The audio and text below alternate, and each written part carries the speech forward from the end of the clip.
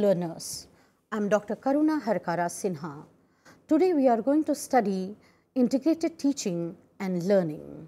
Before we go to the nitty-gritties of the topic, let's explore a situation. Miss Sushma teaches science, while Sophia teaches language in the same class 4. While Miss Sushma was teaching the characteristics of different parts of a plant, Sophia was trying to develop appreciation of beauty in nature through a poem in the text. One day, both of them decided to take the class together, combining science and poetry. The topic they chose was flowers. They planned the lesson in detail, while Miss Sushma was to deal with different types of flowers and the parts of the flowers and Miss Sophia was to recite and develop appreciation for beauty of different types of flowers.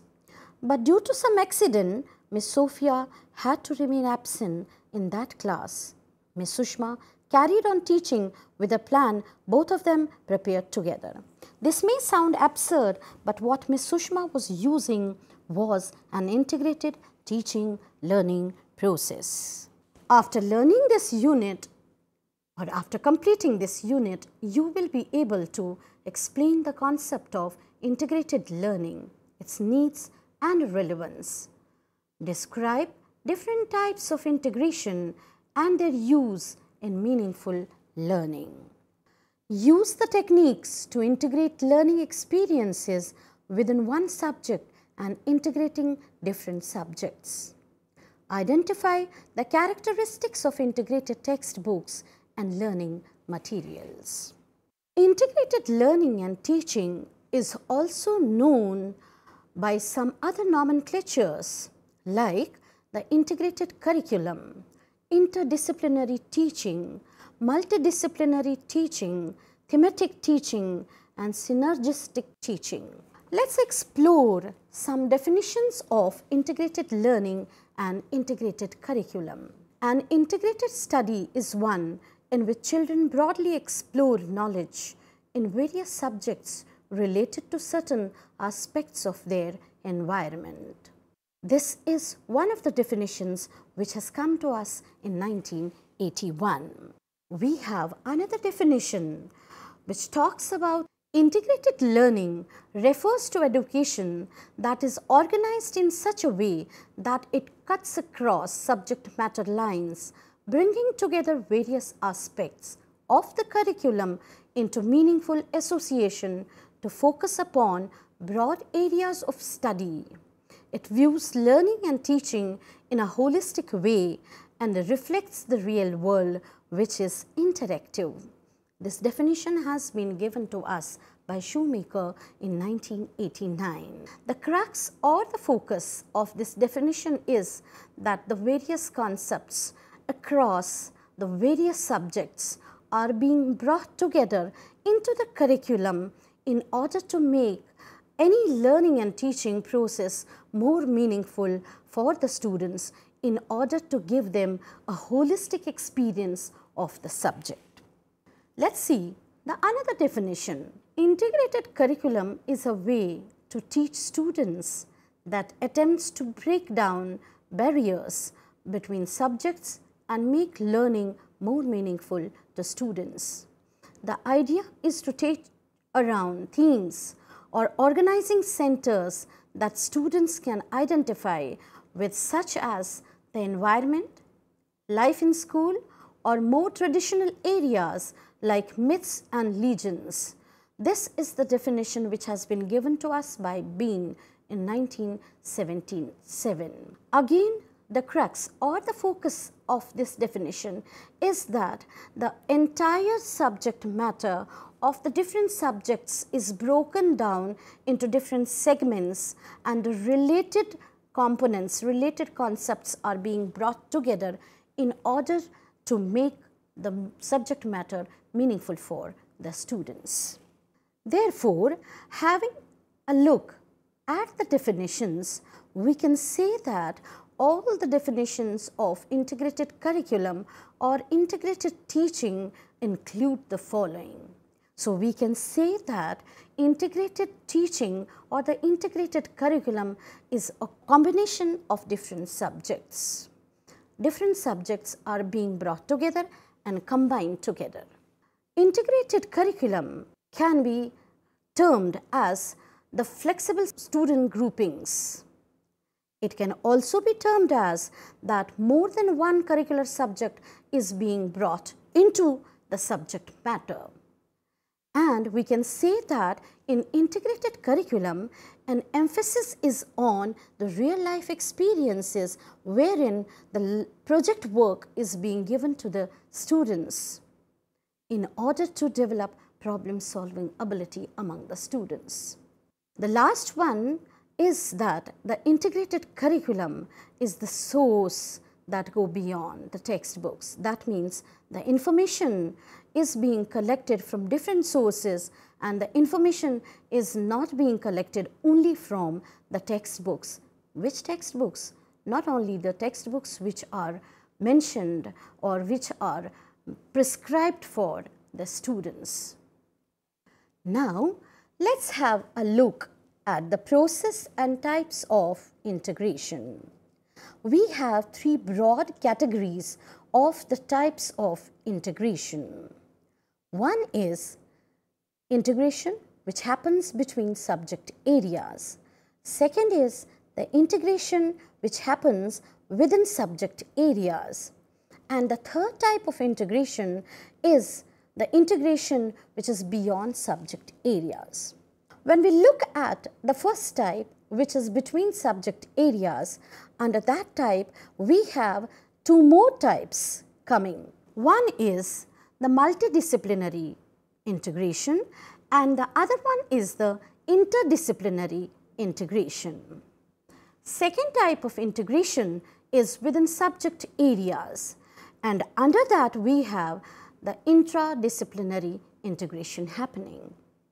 The third type of integration is beyond subject areas and under that we have the transdisciplinary integration happening.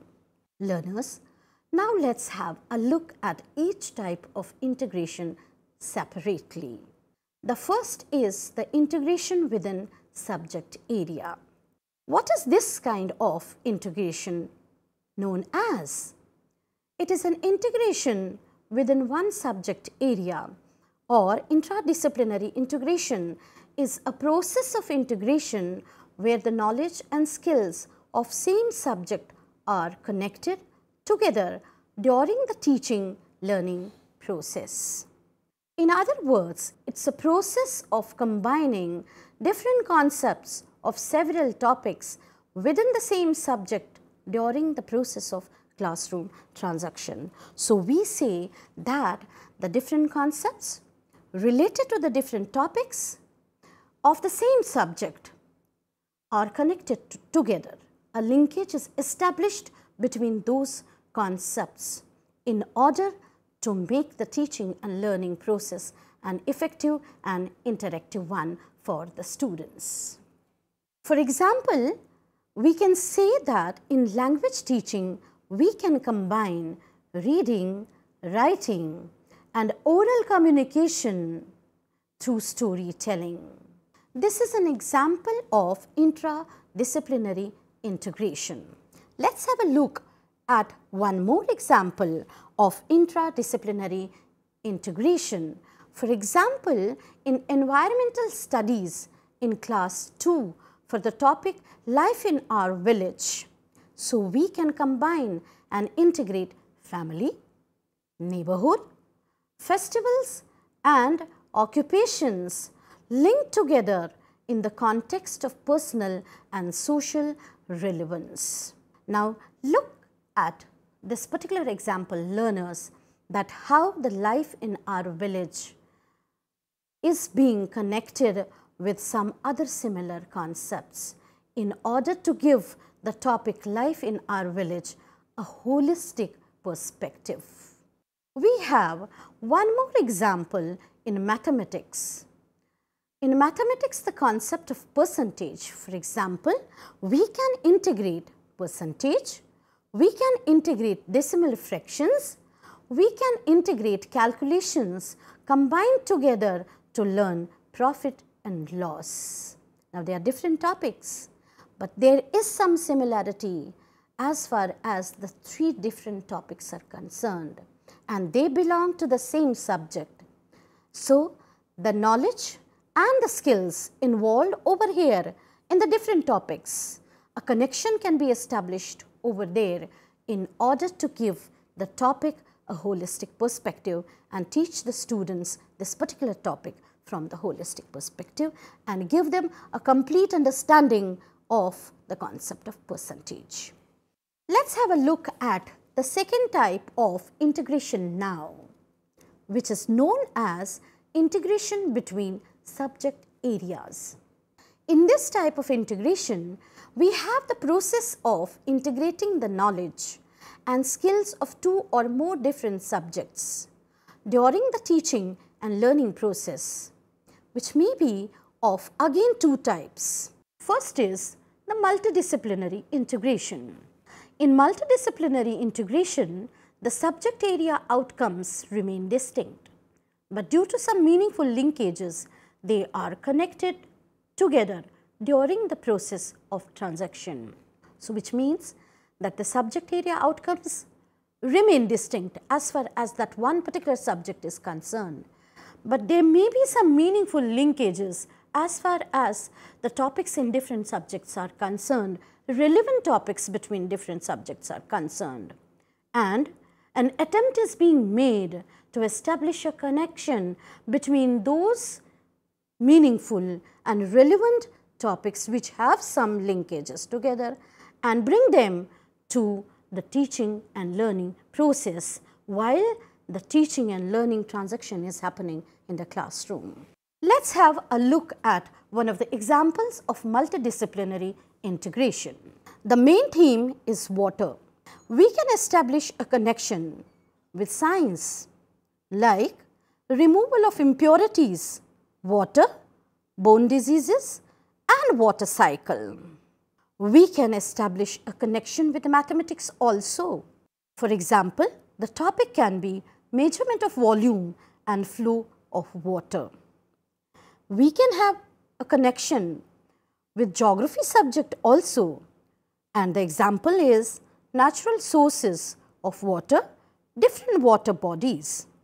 We can establish a linkage with language also like composition, prose and poetry on water, rain, rivers, springs, etc. We can establish a connection with history also, where we can discuss water disputes between different countries. We can establish a linkage between physical sciences also. For example, we can have a discussion on the constitutional elements and physical and chemical properties of water. Learners, now let us have a look at another type of integration which is known as interdisciplinary integration. In interdisciplinary integration, we have a process of integrating the interdependent or common knowledge and skills from more than one subject areas during transaction process. Learners, we do find a little similarity rather more than little similarity between the multidisciplinary and the interdisciplinary integration. For example, concepts of mathematics and science are acquired by integrating to singing, painting, dancing, sculpting, etc. Now we go to the third type of integration which is known as integration beyond subject areas. This type of integration is a process where the students' day-to-day -day experiences are connected to different subject areas to acquire knowledge and skills. Now learners, this is a totally different kind of an integration because here the focus is the day-to-day -day experiences of the learners. And we know that learners have huge experiences. They come to the classrooms, they come to the schools with lots of previous experience with them. And while teaching different subjects, the focus is on connecting or establishing a linkage with their day-to-day -day experiences so that they can acquire new knowledge and skills also. As far as this particular type of integration is concerned, we also see interdisciplinary and disciplinary skills in a real life context are focused so that the real integration happens over there. So, that means again I will say that the real life experiences are being focused so that the actual correct and perfect integration happens and they learn, they establish or they acquire a new knowledge based on their previous knowledge. Learners, for example, we have the project based learning which is an example of integration beyond subject areas. How do the students complete their project learning? An example or a problem is being given to them and they are being asked to find out the solution to those problems. They explore the information based on their own real life experiences and try to find out the solution to the problems or the projects which have been given to them. And this is the actual learning and this is the most important type of integration. Now, students, let's have a look at the three types of integration which we did and let's compare and contrast the three approaches like multidisciplinary, interdisciplinary and transdisciplinary. For example, we have organizing center where we have standards of the disciplines organized around a theme. We have interdisciplinary skills and concepts embedded in disciplinary standards.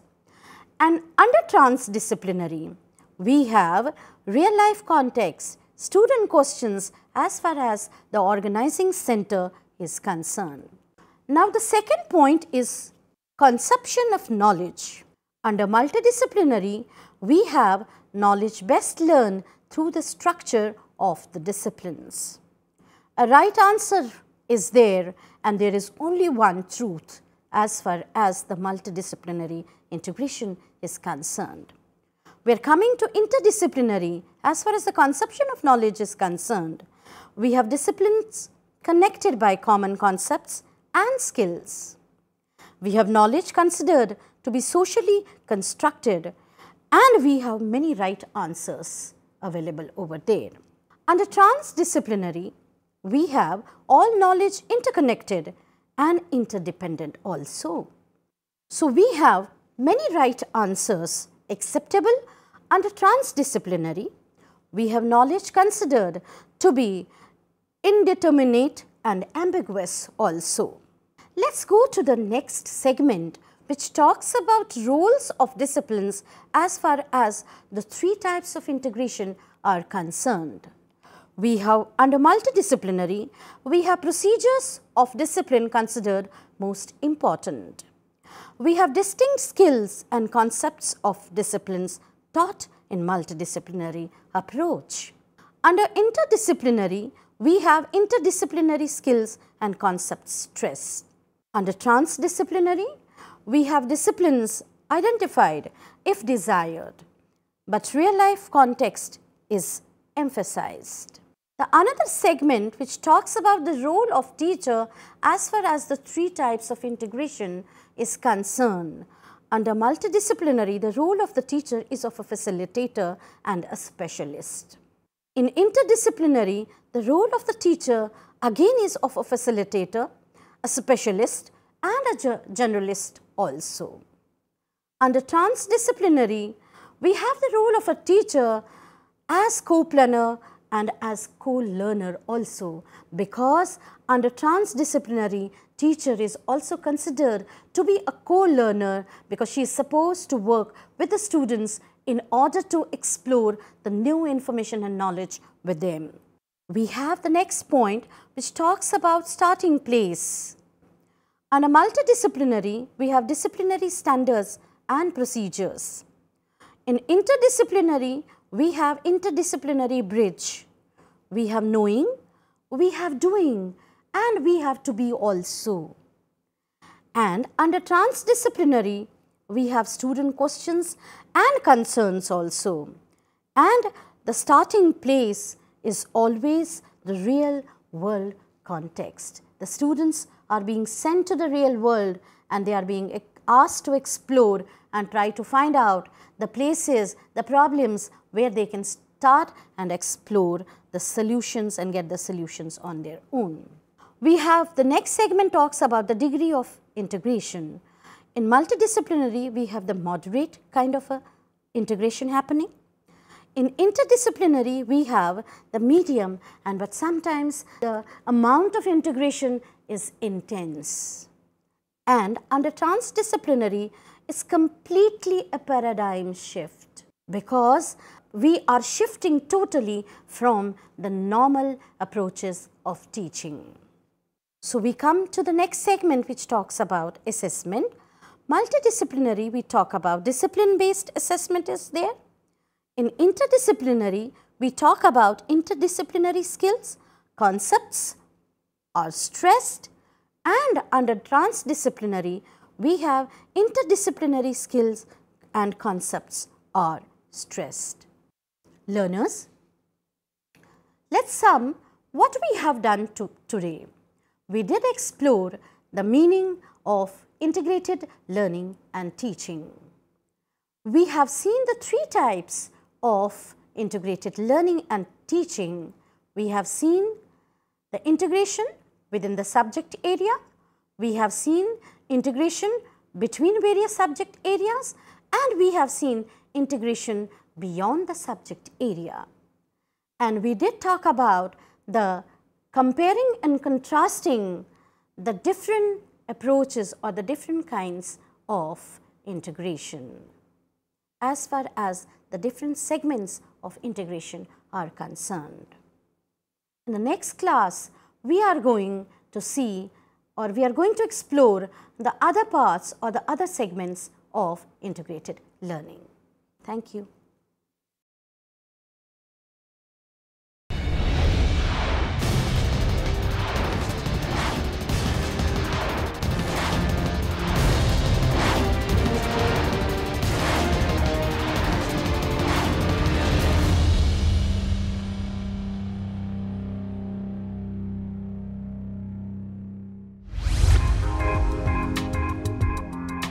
क्या आप जानते हैं एक ऐसा शिक्षा संस्थान जो दे आपकी उम्मीदों को नई ऊंचाई?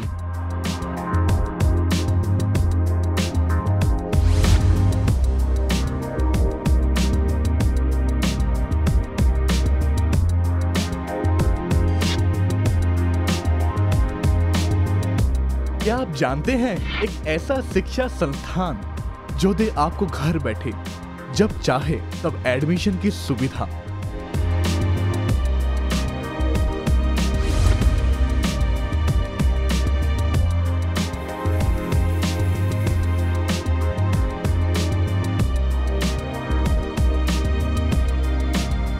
क्या आप जानते हैं एक ऐसा शिक्षा संस्थान जो आपको दे तकनीकी क्षेत्र में आगे बढ़ने का मौका?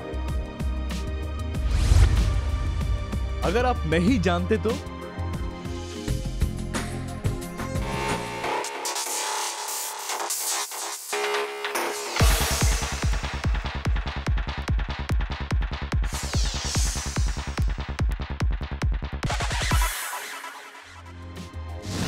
NIOS, NIOS, NIOS.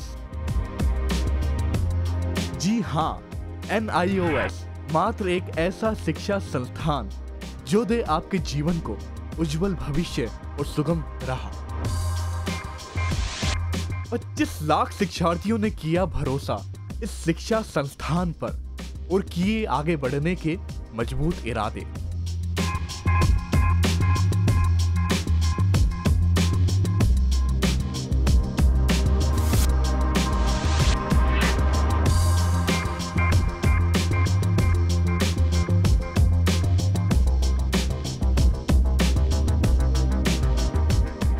जो देगा आपको घर बैठे शिक्षण सामग्री के साथ रेडियो व टेलीविज़न कार्यक्रमों का सहयोग।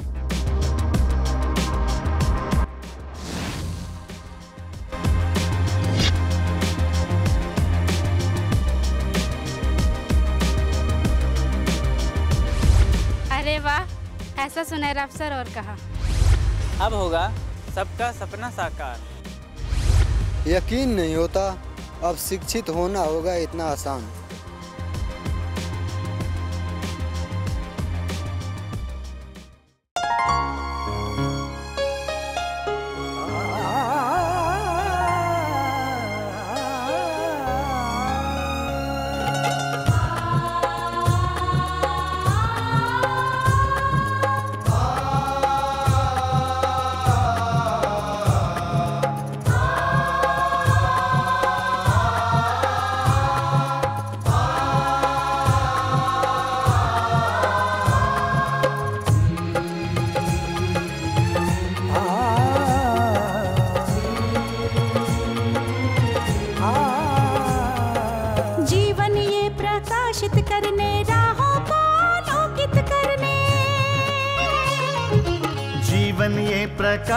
करने, राहों को आलोकित करने। हम अपना दीपक स्वयं बने, हम अपना रास्ता स्वयं चुने।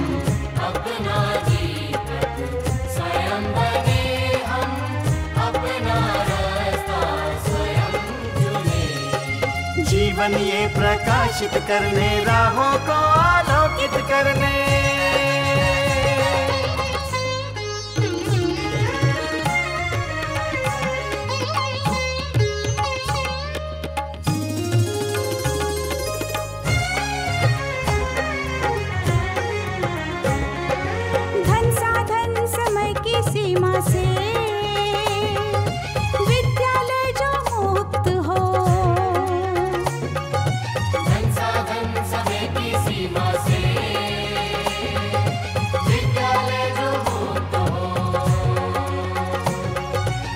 कभी पढ़े हम कहीं पढ़े। वे विषय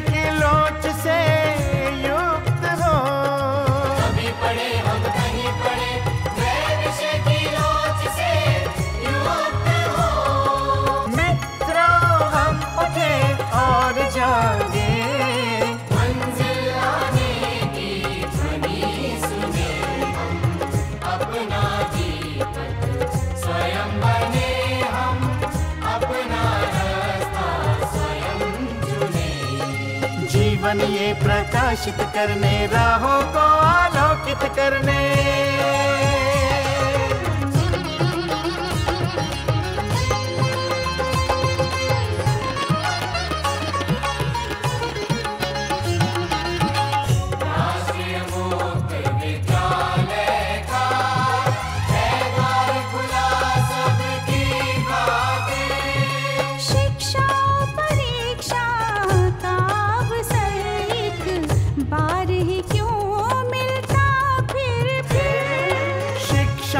परीक्षा का अवसर एक बार ही क्यों